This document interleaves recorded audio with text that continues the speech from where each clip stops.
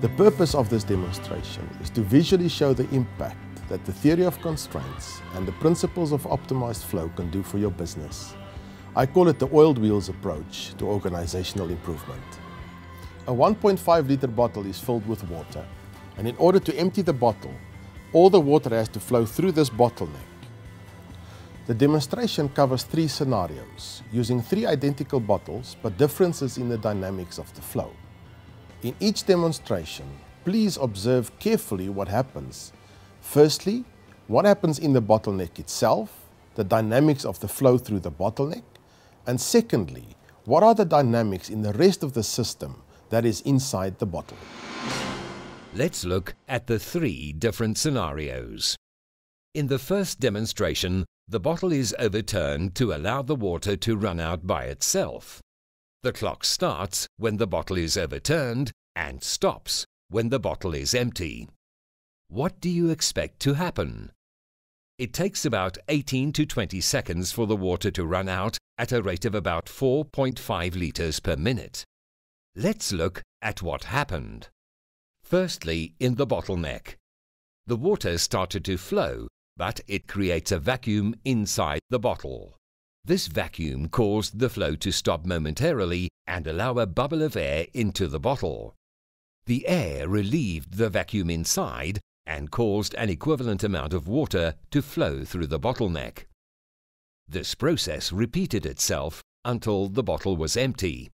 It is a continuous repetition of stop-start flow. Secondly, inside the system, the result of the stop-start flow is turmoil inside the system. There's a lot of activity, but it does not increase the rate of flow. There are lots of unproductive conflicts, many internal processes that do not add value, and a system that becomes a captive of its own internal processes.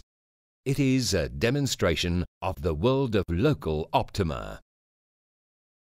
In the second demonstration, the bottle is overturned and then given a few good turns to generate a swirling motion. This generates a vortex that allows air to flow into the bottle while the water runs out through a swirling spout. What do you expect to happen?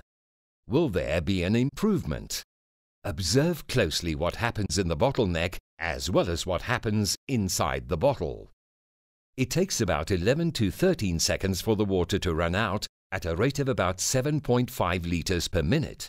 This is nearly double the flow rate of the first demonstration. What happened this time? Firstly, in the bottleneck. It took a second or two to get the water to generate the vortex. The vortex allowed the air in while the water ran out in a circling spout.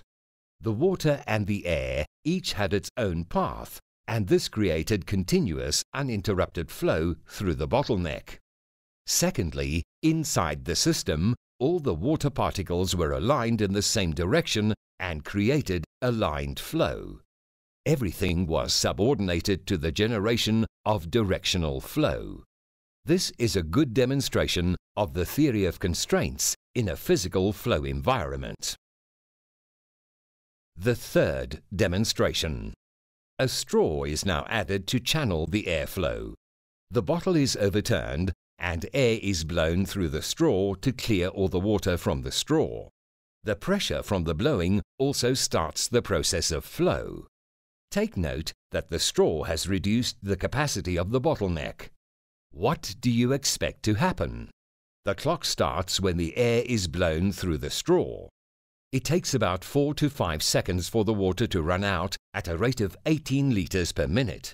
This is about double the flow rate of the second demonstration and about four times the rate of the first demonstration. What happened this time? Firstly, in the bottleneck, the flow was super fast. It was stable, without interruption, and more than four times the rate of the first demonstration. Secondly, inside the system. The inside was characterized by calmness, stability, and absence of turmoil and pressure. Is it possible to have superflow within a spirit and culture of calmness? Yes, It is done by doing the right things right. The demonstration with the three bottles illustrates the following lessons. Firstly, in the three demonstrations, the bottleneck remained the same. It illustrates that the theory of constraints is not a process of debottlenecking the operation. It is a process of increasing the flow through the bottleneck. Secondly, if you follow the right approach, you can eventually get both superflow and a spirit of calmness simultaneously. In order to do this, you need to address the physical flow and the people aspects of the business simultaneously. Applying the principles of the theory of constraints and optimized flow can significantly improve your business.